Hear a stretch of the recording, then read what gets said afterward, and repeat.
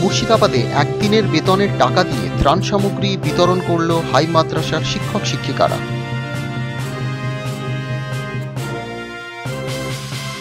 সারা দেশে করোনার আতঙ্কে আতঙ্কিত। সরকার কার্যত লকডাউন তুলে নিলেও এখনও শুরু হয়নি বিভিন্ন কর্মসংস্থান।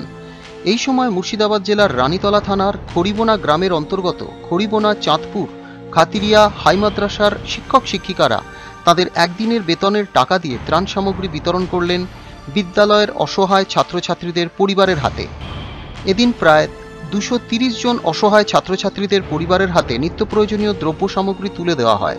বিদ্যালয়ের প্রধান শিক্ষক সাবিয়ার রহমান বলেন শুধু আজকেই নয় ভবিষ্যতে আবারও যদি প্রয়োজন হয় তাহলে আমরা আবারও এই ছাত্রছাত্রীদের পরিবারের পাশে থাকব। এই কর্মসূচির মূল কারণ কি? আজকের এই কর্মসূচির মূল কারণ কি?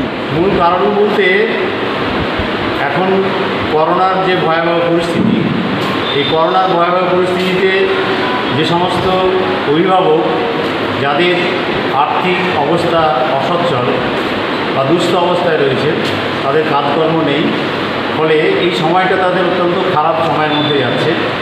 তাদের দৈনন্দিন জিনিসপত্র নেওয়ার মতো ক্ষমতা নেই, যারা আমরা, যেটা আমরা শুনতে পাচ্ছি।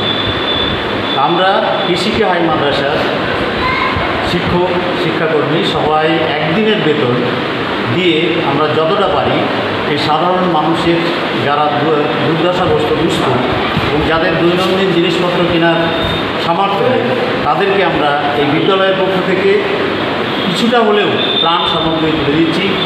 আর এসে এই সঙ্গে আমি বলব যে আমার মাদ্রাসার যে সমস্ত শিক্ষক মশাই রয়েছে, তাদেরকে ধন্যবাদ জানাচ্ছি। তারা সবাই এই যে ত্রাণ বিতরণ অনুষ্ঠান তার ব্যবস্থাপনা ইত্যাদি করার জন্য তাদেরকে অনেক অনেক ধন্যবাদ। কতজন এর পরিবারের মধ্যেই তার সঙ্গে তুলে দিলেন? আর দুশো তিরিশ জন দুশো তিরিশটা পরিবারের মধ্যে দুশো পরিবারের মধ্যে এই ত্রাণবিধি করা হলো আমরা ভবিষ্যতে প্রয়োজন হলে সাধারণ মানুষের পাশে পাশে আছি থাকব। যতটা পারি আমাদের দিক থেকে তাদেরকে আমরা সহযোগিতা করি। আপনার নাম পরিচয়? আমার নাম হচ্ছে সাবিয়ার রহমান। কৃষিকে হাই মাদ্রাসার প্রধান শিক্ষক। মুর্শিদাবাদ থেকে রাজেন্দ্রনাথ দত্ত টাইমস বাংলা।